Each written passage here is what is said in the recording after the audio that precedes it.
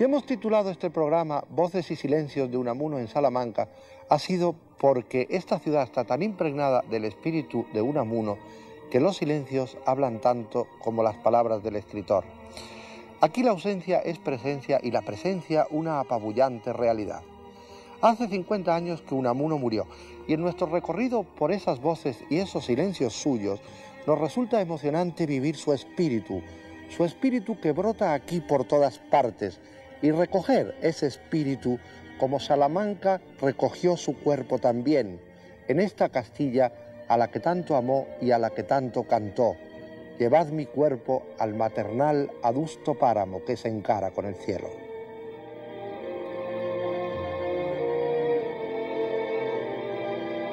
Despierta Salamanca, vetusta ciudad castellana, centro universal de cultura.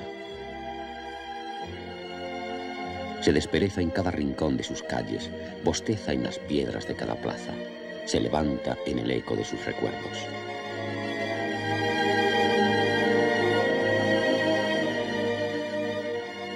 Unamuno, don Miguel, el profesor rebelde, el filósofo inquieto y anhelante, el agnóstico profundamente espiritual, el escritor austero, interrogante e inconformista, el hombre familiar, desasosegado y lúcido, se mece en su ritmo.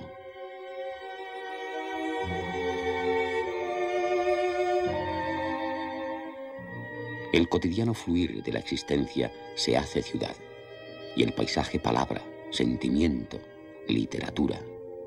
Y ambos, ciudad y escritor, se nos revelan unidad, fusión de sentidos y silencios, de miradas y análisis trascendentes, de río, piedra, universidad y creación literaria. Don Miguel, el intelectual bilbaíno que empezó a sentir el pulso de España en sus paisajes. Vizcaya, terruño entrañable. Castilla, el sentido de la vida. Salamanca, su alma, su motor creativo, alucinante y contradictorio. Don Miguel, Quijote empecinado en despertar a las gentes, a sus gentes, de eso que él denominaba modorra espiritual propulsor de una auténtica vida del espíritu, concebida como perpetuo estado de zozobra. Afanes de desencadenar un delirio, un vértigo, una locura cualquiera sobre las pobres muchedumbres ordenadas y tranquilas. Ya lo sé, soy antipático a muchos de mis lectores. Y una de las cosas que más antipático me hacen para con ellos es mi agresividad.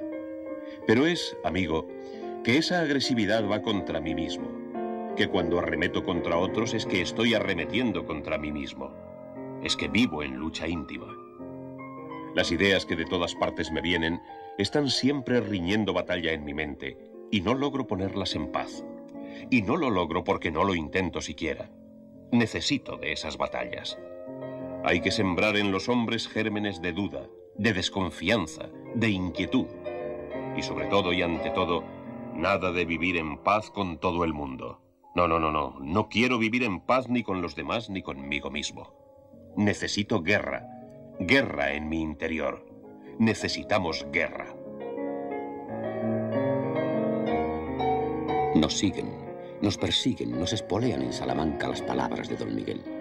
Te recorta su sombra contra las piedras doradas en el declinar de la tarde. Se detiene el tiempo en un día de septiembre de 1864, en el instante en que nacía la vida un niño al que pusieron por nombre Miguel. Reflejan las aguas la infancia, la adolescencia preñada de misticismo hasta de deseos de santidad. Santidad, en él, en el hombre que más deseó, que más necesitó creer y que más interrogantes y crisis religiosas padeció. Bachillerato, lecturas de Balmes, Madrid, estudios de filosofía y letras, libros, libros, libros. Establecimiento de un orden de prioridades. Kant, Krauss, Hegel y un difícil aprendizaje del alemán para beber la filosofía en su lengua materna. Tiempo de misas diarias y comuniones frecuentes. Oposiciones a universidad. Todo es posible. La cátedra de griego de Salamanca le espera y su eterna dualidad, fe-razón, con su secuela de crisis espiritual, comienza a dar los primeros zarpazos. El resorte de vivir es ya el ansia de sobrevivirse en tiempo y en espacio. Solo es posible mantener esa lucha entre el corazón y la cabeza, entre el sentimiento y la inteligencia, y en que aquel diga sí mientras ésta dice no, y no cuando la otra sí. En esto, y no en ponerles de acuerdo, consiste la fe fecunda y salvadora.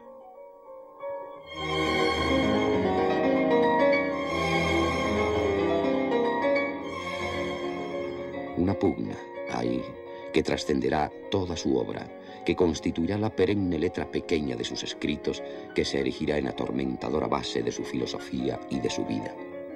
De un don Miguel al que se le decía que sentía con la cabeza y pensaba con el corazón, de una mente empeñada en sacar punta y en llevar la contraria, de un ser molesto, realista y consecuente, deseoso de entender.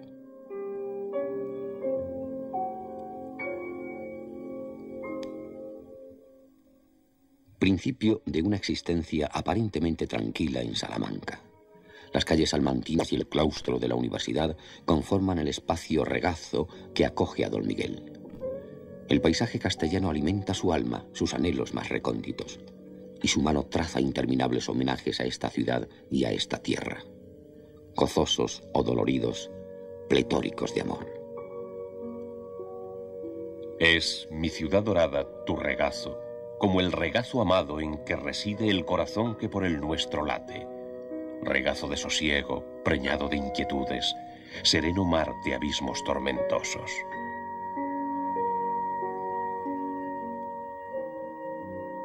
En él se vive en paz soñando guerra. Las horas en silencio dejan oír la voz con que nos llama la eternidad a la abismal congoja.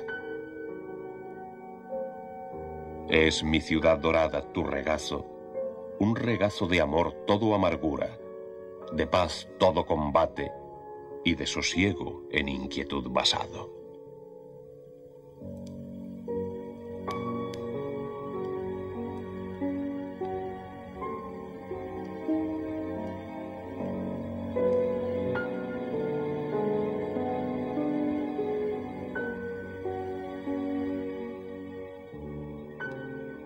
Soñando guerra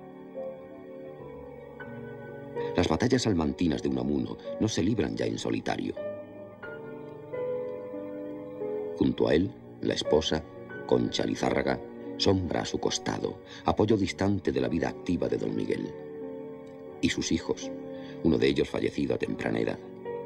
Muerte de la carne propia, consumación de la desesperanza, infinita soledad circundada por el murmullo del Tormes y las torres de Salamanca. Aguas dormidas, verdura densa, piedras de oro, cielo de plata. Del agua surge la verdura densa, de la verdura como espigas gigantes las torres que en el cielo burilan en plata su oro. Son cuatro fajas, la del río, sobre ella la alameda, la ciudadana torre y el cielo en que reposa. Y todo descansando sobre el agua, fluido cimiento, agua de siglos, espejo de hermosura. La ciudad en el cielo pintada con luz inmoble. Inmoble se halla todo. El agua inmoble. Inmóviles los álamos. Quietas las torres en el cielo quieto. Y es todo el mundo. Detrás no hay nada.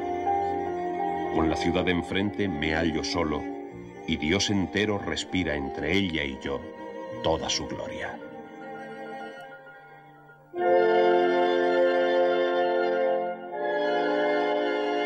Imparable la rueda del destino. Don Miguel es ya rector de la Universidad de Salamanca. Se suceden los poemas, los escritos, descarga de tensiones, dudas y vacíos. Vida de Don Quijote y Sancho, soledad, recuerdos de niñez y mocedad, paisajes, la agonía del cristianismo, soliloquios y conversaciones frente al cielo o junto a ese fray Luis antecesor salmantino.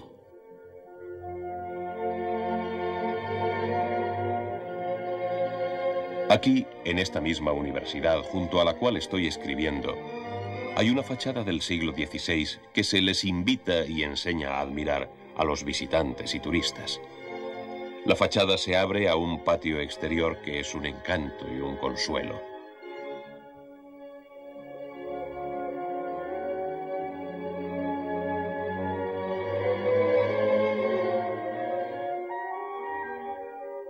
Luego que ha cesado el vocerío estudiantil, cuando están cerradas y mudas las aulas, en horas o en días de vacación, sobre todo en las tardes lentas del verano, ese patio de las escuelas menores con su broncíneo Fray Luis de León en el centro, sobre un pedestal, con un eterno gesto de apaciguamiento, es algo que habla al alma de lo eterno y lo permanente. No doy por nada del mundo ese patio, henchido en su silencio de rumores seculares, ese patio sin ruido de tranvías, ni de ferrocarriles, ni de vana agitación humana.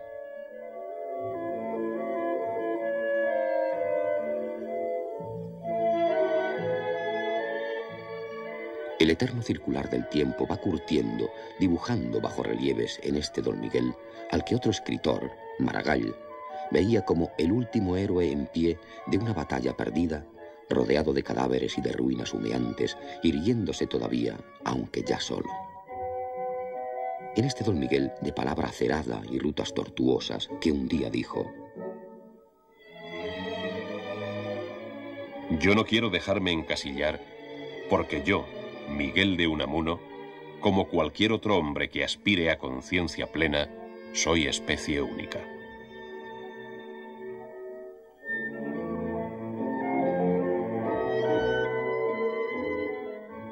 Unidad armónica y ciclópea, imagen espejeante hoy de las lejanas montañas natales, transfiguradas ya en altas torres almantinas, en esas torres de Monterrey frente a las cuales la duda de Dios se apaciguaba, la calma renacía.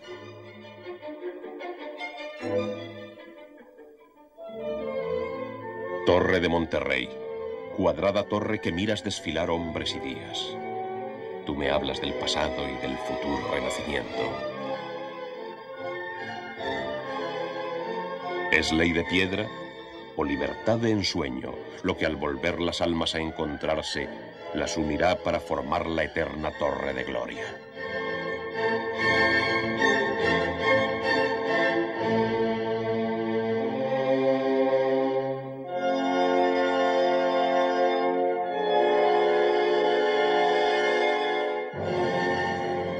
Se atenúa el andar de don Miguel por las afueras almantinas. Permanece el bullicio en un rincón de su mente y se acompasa su ritmo a la lentitud del cielo castellano, a la distancia infinita de ese horizonte yermo que se confunde con la tierra. El hombre, este hombre tan constreñido por la historia, no sabe, no puede, no quiere zafarse de la tierra sobre la que vive. Tú me levantas, tierra de Castilla, en la rugosa palma de tu mano, al cielo que te enciende y te refresca, al cielo, tu amo. Tierra nervuda, enjuta, despejada, madre de corazones y de brazos, toma el presente en ti viejos colores del noble antaño. Con la pradera cóncava del cielo, lindan en torno tus desnudos campos. Tiene en ti cuna el sol y en ti sepulcro y en ti santuario. Es todo cima tu extensión redonda, y en ti me siento al cielo levantado. Aire de cumbre es el que se respira aquí en tus páramos. Ara gigante, tierra castellana, a ese tu aire soltaré mis cantos. Si te son dignos, bajarán al mundo desde lo alto.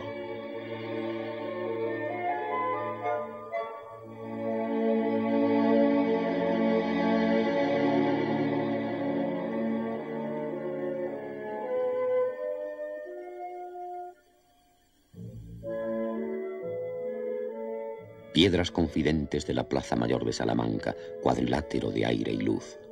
Teatro del mundo donde se pregonan las pasiones contenidas, donde la vida se transforma en farsa, donde, entre apuntes de novelas, ensayos y dramas, reflexiona don Miguel, oídos sordos al incesante tráfago, una vez más. ¿Cuántas ya? sobre lo divino y lo humano, la vida y la muerte, el papanatismo y la cultura. Multitud de artículos periodísticos, colaboraciones.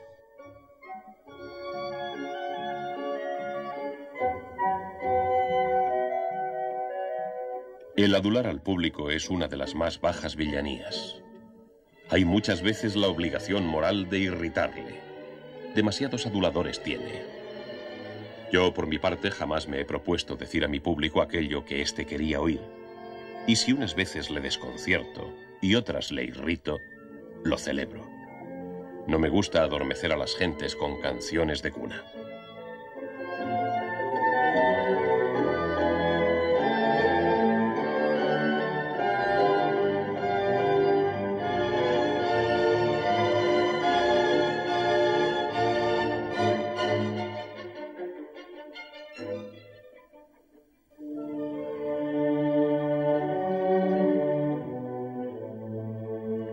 Se contrae sobre sí mismo y Unamuno presagia las más duras batallas.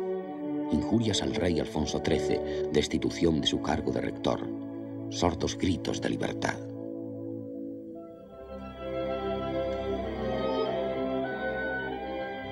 Baja del cielo, libertad sublime, y humillándote al mundo hazte terrena. Rompe los grillos del derecho infame y ensánchanos la tierra.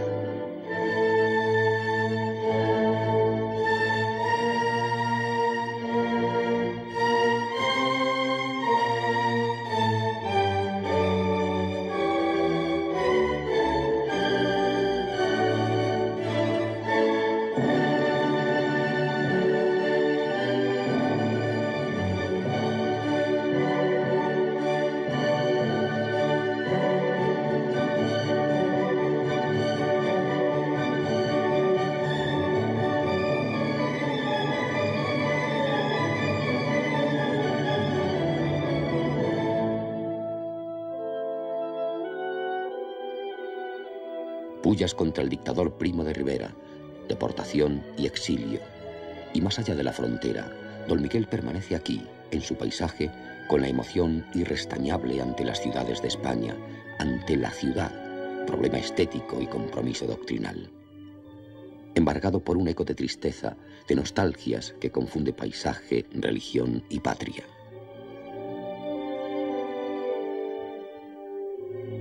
Si un hombre no siente lo que tiene en derredor, lo concreto, lo tangible, la patria, podrá ser un gran filósofo, un gran pensador, un gran sociólogo, pero un poeta no.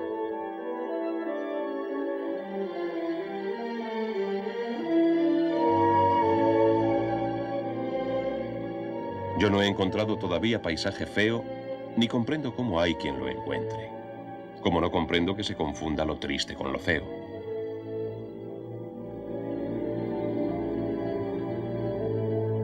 Hay tierras tristes, tristísimas, desoladas, saáricas, esteparias, pero muy hermosas, solemnemente hermosas.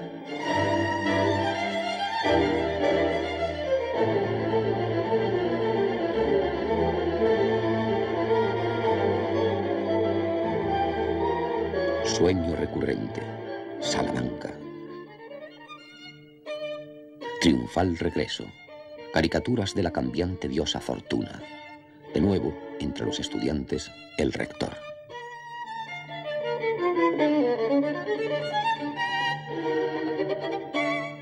Mirada escéptica, laberinto de encontrados sentimientos, reencuentros, puente romano, iglesias, la vieja catedral, claustros silenciosos, conventos de murmullos apagados, paseos, calles. Hay que rastrear las huellas.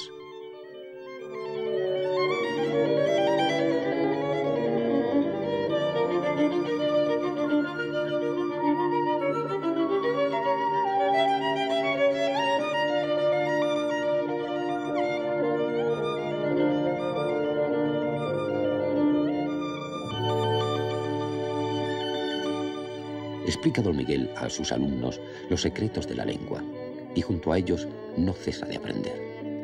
Unidos recorren el sendero del por qué, el ir más allá de definiciones o enunciados.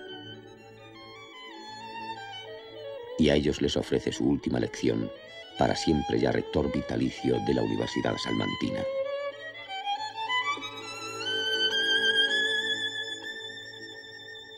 Tened fe en la palabra, que es la cosa vivida.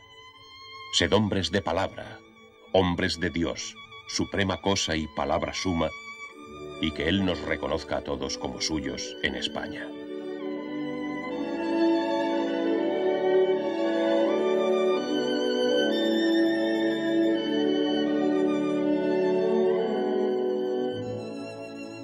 Se acelera el vértigo existencialista, se eterniza lo momentáneo.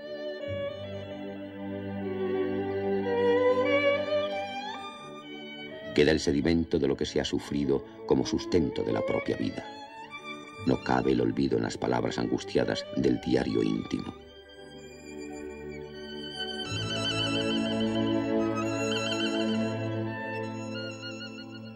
Quiero consuelo en la vida y poder pensar serenamente en la muerte. Dame fe, Dios mío, que si logro fe en otra vida, es que la hay.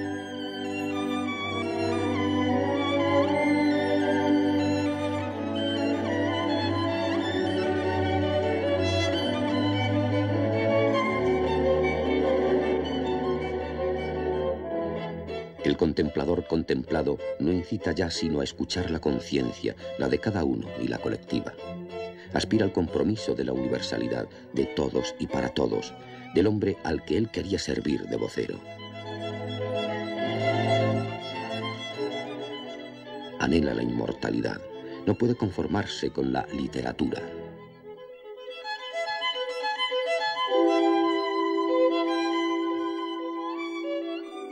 Quiero mi paz ganarme con la guerra.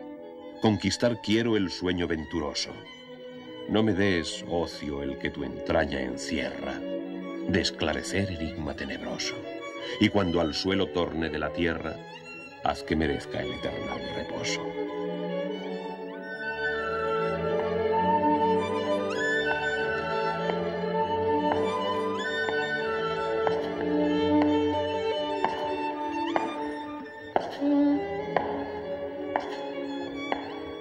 De noche cuando todo duerma. Vendrá de noche cuando el alma enferma se emboce en vida.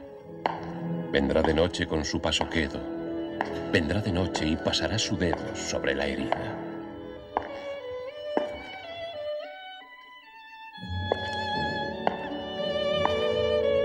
Vendrá una noche recogida y basta.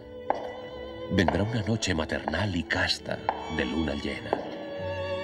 Vendrá viniendo con venir eterno. Vendrá una noche del postrer invierno, noche serena. Vendrá de noche, sí, vendrá de noche. Su negro sello servirá de broche que cierra el alma.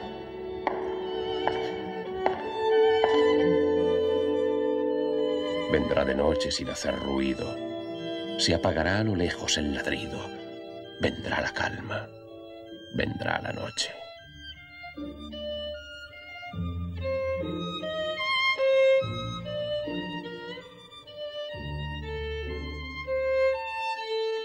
La calma es la hora de la calma, del sereno vacío, del balance de ausencias.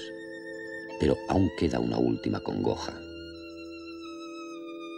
Y hoy, al entrar en ti, siento en mi pecho luchas de bandos y civiles guerras, y con rabia de hermanos se desgarran en mí mis ímpetus. Tras las ventanas de su casa de bordadores, contempla don Miguel cómo su salamanca se tiñe de rojo. Su permanente lucha interior queda ahora afuera. Ha estallado la guerra. Harto de batallar, su cerebro de 72 años se rinde. El 31 de diciembre de 1936, un ataque cerebral pone fin al sentimiento trágico de la vida, a su ser para la muerte, a su máximo adversario. Todavía queda tiempo para mirar una vez más, tal vez furtivamente, Salamanca desvaneciéndose. Para conversar con ella y seguir, siempre seguir.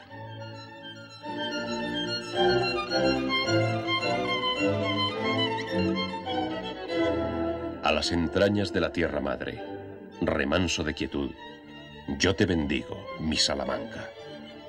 Y cuando el sol al acostarse encienda el oro secular que te recama, con tu lenguaje de lo eterno heraldo, di tú que he sido.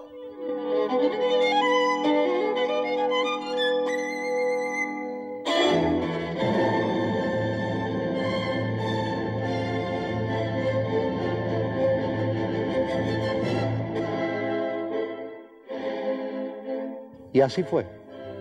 Un largo silencio después de este breve programa de televisión nos invita a que Unamuno siga resonando en los oídos de la inteligencia y a que sus palabras sean, como él mismo dijo, heraldos de esperanza vestidas del verdor de sus recuerdos. Nací, me crié, me eduqué y viví hasta mis 27 años en un puerto. Y después me vine a esta ciudad interior, de la meseta, por donde corre un río que no trae ni lleva más que sus aguas. Pero puedo aseguraros que si allí, en mi nativo Bilbao, se me despertó y aguzó el sentido de la curiosidad universal, de la inquisitividad, páseseme la palabra, aquí no me ha faltado materia en que ejercerlo. Y acaso con ventaja. Pero ¿a qué he de hablaros más de esta ciudad? Siempre que os hablo de mí, de mi España, de cualquier otra cosa, os estoy hablando de ella. No la juzguéis por mí solo, pero creed que si hay algo en mí y en mis escritos que os satisfaga, a esta ciudad de Salamanca se debe ello en mucha parte.